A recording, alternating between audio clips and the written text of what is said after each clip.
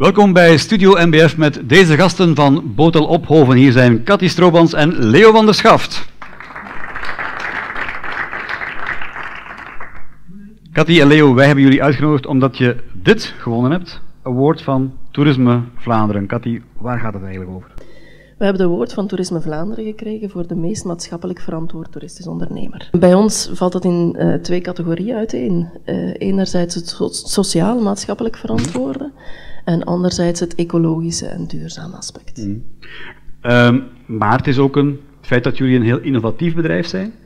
Ik ken jullie al een aantal jaren en ik denk die mensen blijven maar innoveren, blijven mm -hmm. maar innoveren. Mm -hmm. Een aantal recente voorbeelden misschien? Uh, de stilsloop die, uh, die we sinds een aantal jaren hebben. Wat is de stilsloop? wij hebben een viertal stilsloepen, die elektrisch aangedreven boten, die worden verhuurd aan mensen die geen enkele ervaring hebben of geen vaarbewijs.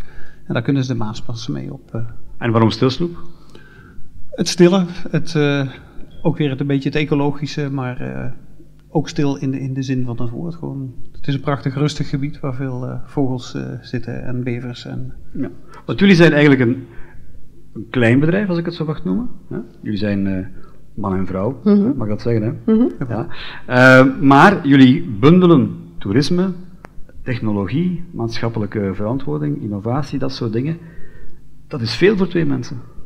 Dat is veel, maar dat is het leuke van ondernemer zijn. Je kan dingen uitproberen.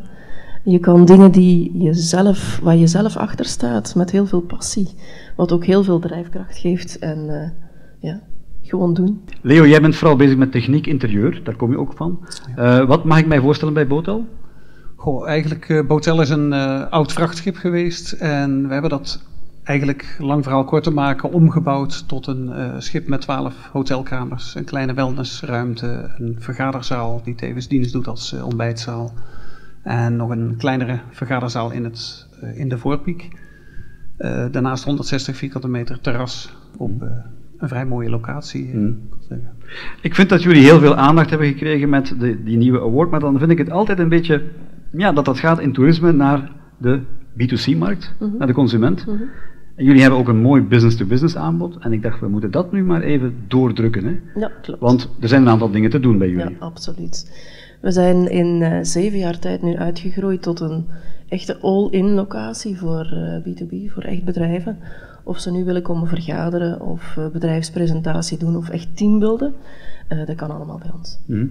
En je, je, hebt daar ook die kookstudio, dat is ook heel bijzonder, ja, denk ik. Hè? Want ja, dat is een beetje jouw ding. Ja, terwijl Stilsloep zijn ding is. Koken is jouw ding. Dat is mijn favoriete onderdeel. Ja. Dertigtal mensen kan daar samen in de keuken. Ja. Ik gebruik voornamelijk streekproducten in de keuken. Uh, ecologisch verantwoord. Ecologisch verantwoord, absoluut. Ja. Um, een van de mooiste locaties van Europa, uh, je zei het daar net al, het is een enorm aaneengesloten watergebied. Ja. En jij zei mij dat er misschien wel grote plannen zijn met zeilen.